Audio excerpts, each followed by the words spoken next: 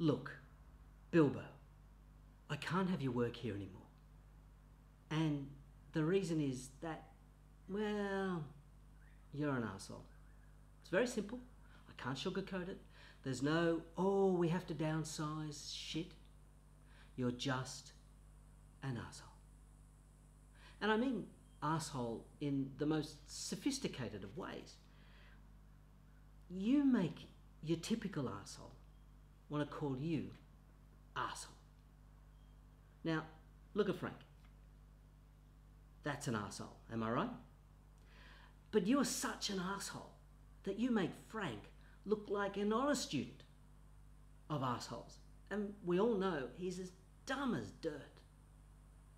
Sorry, Frank. But he's a tolerable asshole. You, you go beyond your average asshole. You're like a friggin' like if there was a college of assholes, you wouldn't even be the dean.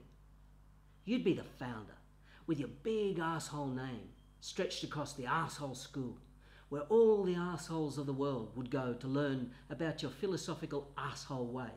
Got it? No, wait, there's more.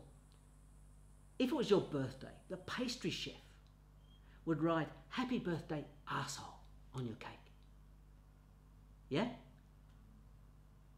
Oh, on your wedding day, the priest in a church of God would turn to you and say, Asshole, do you take this woman to be your lawful wedded wife? Even on your tombstone. You know what you need? You need a cologne. You guessed it. It's called asshole. Where all the assholes could wear it. To help all the non assholes recognize when there was a genuine asshole approaching. Uh, see that door? That's the asshole door. That's the door I want you to use. And by God Almighty, don't ever come back.